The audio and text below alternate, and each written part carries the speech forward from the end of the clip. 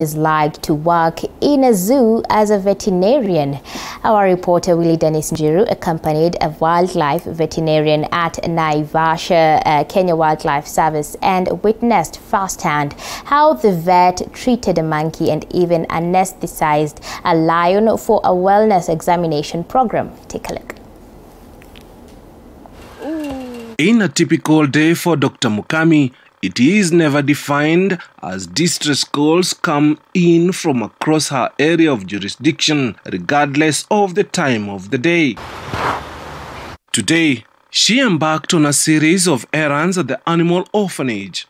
This monkey was snared and mutilated following human wildlife conflict in the area. She has fully recovered under the watch of Dr. Mukami. These humans uh, got this animal and put a wire through the back, which came out through the front, and then connected a, a piece of metal can with stones inside it. Moments later, she meets yet another set of leopards have deep injuries. Fortunately, we can't uh, suture them. Such cases have been extremely frustrating.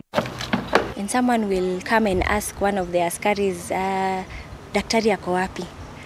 And i'm standing right there maybe preparing my drugs or something. So it is they they seem uh, a lady and they perceive oh you're, you're not able to do this job. Her tools of trade include dun injection rifle darting gun high precision therapeutic and immobilization drugs restricted to professionals with jobs varying by size of the animal kingdom. We had a case in naivasha where um, some elephants had strayed uh, this is a big deal. It's a it's it's an emergency because the animal is afraid. The people are also afraid. Anything can happen.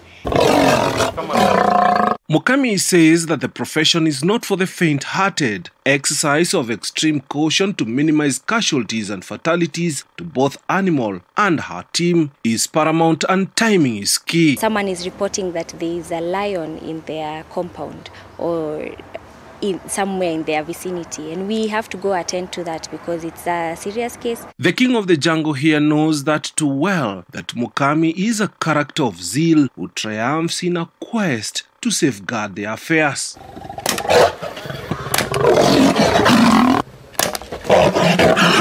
For this day, she had to relocate three lions to different cages through sedation with concerted efforts from a bunch of officers. And they, unlike us, we think we can think and we reason that this this is a bad thing this is a good thing.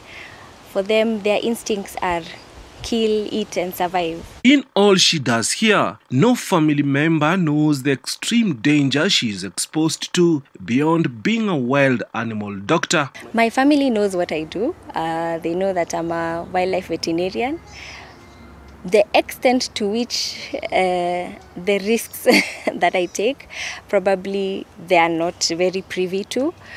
Um, but I believe they, they know it makes me happy and uh, they fully support. Her remarks to the upcoming generation is that no human should set the height of the ceiling for the most precious jewel is deeper than the miner envisages. Gender doesn't matter when you come when it comes to doing or achieving the things that you want to do.